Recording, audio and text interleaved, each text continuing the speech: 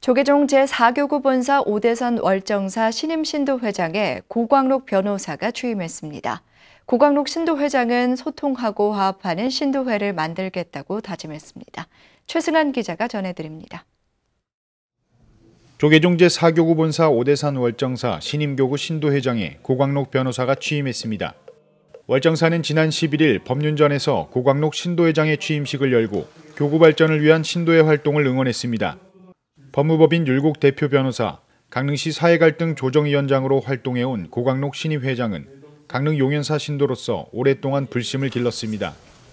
고승 대덕 스님들의 가르침과 신도님 한분한 분의 지혜를 모아 큰 바다로 흘러가겠습니다.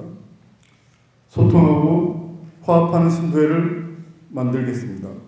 월정사 주지 정념 스님은 김봉영 전임 신도회장의 공로를 치하하고 고광록 신임 회장의 적극적인 활동과 보살행을 강조했습니다.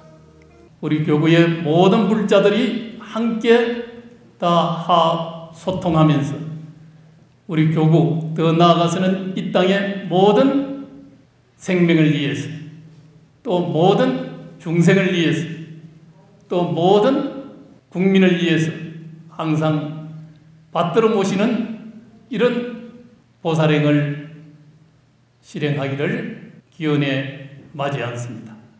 월정사 신도에는 고광록 신임 회장을 중심으로 새로운 집행부를 구성해 본말사의 화합과 소통을 모색하고 있습니다. 예, 일단 좀 젊은 신도회가 되고 그 다음에 소통하고 화합하는 신도회가 되고 그리고 대중과 함께하는 좀 열린 신도회가 됐으면 좋겠습니다. 특히 지금 제4교구 신도회가 실질적으로는 사교 산하 말사들의 연합, 연합 신도이기 때문에 되도록이면은 80여 개 말사들의 모든 그 신도회가 참석할 수 있는 그런 신도회를 만들도록 노력하겠습니다. BTN 뉴스 최승환입니다.